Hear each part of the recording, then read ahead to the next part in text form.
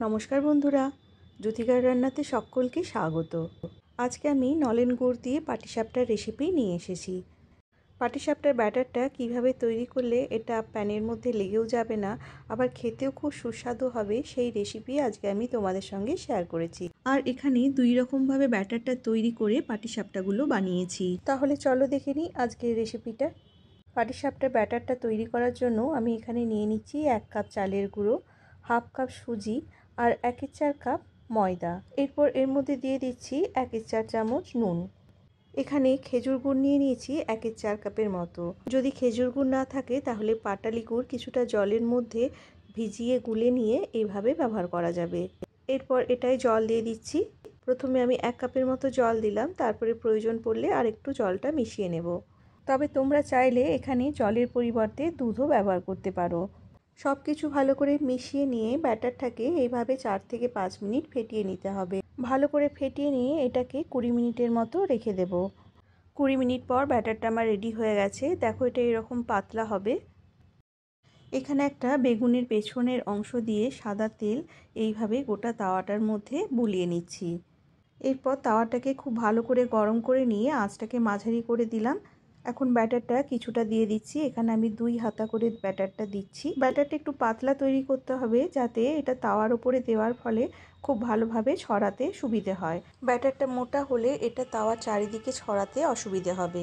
ব্যাটারটা এইভাবে পাতলা করে ছড়িয়ে নিয়ে এটা এক মিনিট অপেক্ষা করব। এর ওপরটা শুকিয়ে আসলে এর ওপরে নারকেলের পুরটা এইভাবে দিয়ে দিলাম।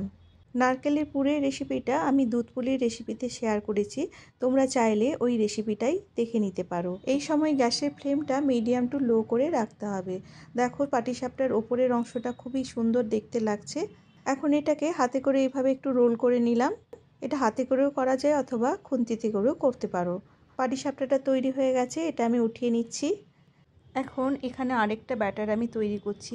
আগের মতো একইভাবে এর মধ্যে চালের গুঁড়ো, সুজি, ময়দা, গুড় আর তার সঙ্গে জলের পরিবর্তে দুধ দিয়ে ব্যাটারটা তৈরি করছি।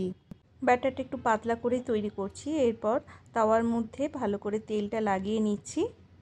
তাওয়াটা বেশ গরম করে নেব। গরম হয়ে গেলে আঁচটা একটু কমিয়ে দিয়ে এর মধ্যে ব্যাটারটা দিয়ে হাতাতে করে এটা হালকা করে ঘুরিয়ে নিচ্ছি। এখন এর ওপরের দিকটা শুকিয়ে আসলে এর মধ্যে নারকেলের পুরটা লম্বা করে দিয়ে দিলাম। এরপর খুন্তিতে করে এটাকে এইভাবে উল্টে নিলাম। এখানে আমি দুই রকমভাবে পাটিসাপটা তৈরি করে দেখালাম। পাটিসাপটার ব্যাটারের ইনগ্রেডিয়েন্টসগুলো একটু কম বেশি করে নিলে এটা দেখতেও একটু অন্যরকম হয় আর খেতেও একটু অন্য স্বাদের হয়। এই পাটিসাপটার ব্যাটারটাতে গুড়ের পরিমাণটা একটু বেশি দেওয়া হয়েছে আর দুধ দিয়ে তৈরি করার জন্য এটা নরমও হয়েছে আর দেখতেও একটু অন্যরকম হয়েছে। আর এই পাটিসাপটার ব্যাটারটাতে গুড়টা অল্প পরিমাণে দেওয়া হয়েছে আর চালের গুঁড়োটা একটু বেশি পরিমাণে দেওয়া হয়েছে। তার জন্য এটা দেখতেও সাদা হয়েছে আর একটু ক্রিস্পি হয়েছে।